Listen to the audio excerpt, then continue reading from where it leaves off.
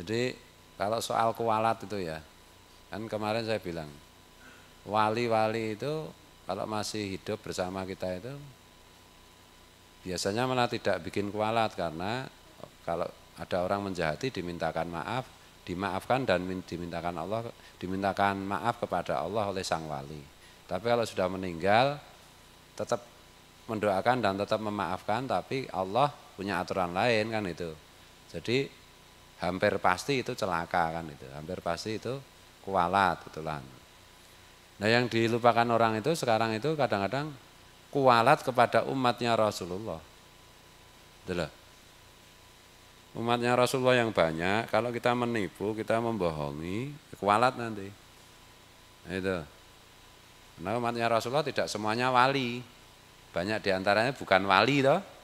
Nah, kan tidak terima kalau tahu bahwa dirinya dibohongi.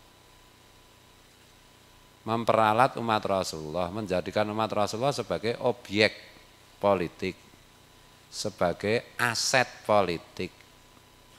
Nah itu kualatnya luar biasa, menipu umat Rasulullah, menjadikan umat Rasulullah untuk aset politik, menjadikan objek politik, mengadu domba umat Rasulullah lah itu kualat, sangat, amat-amat sangat. Kadang-kadang nggak disadari tuh. Ya memang ada perkecualian kalau kecuali memang kita tidak tahu kita meyakini bahwa itu yang benar. Kemudian kita misalnya menyampaikan sesuatu kepada umatnya Rasulullah padahal itu keliru tapi kita benar-benar tidak tahu.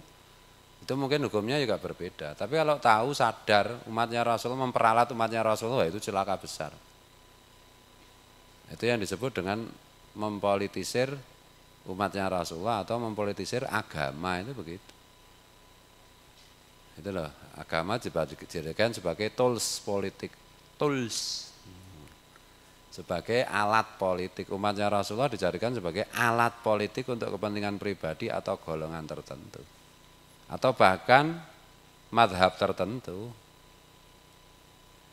Menggerakkan umatnya Rasulullah bukan untuk kepentingan umatnya Rasulullah secara keseluruhan, tapi hanya untuk segelintir kepentingan individu atau pribadi atau golongan. Nah itu Mengerikan tuh nanti kualatnya.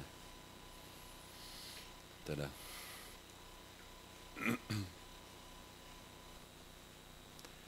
Nah, ini kan sekarang dikhawatirkan banyak terjadi seperti itu.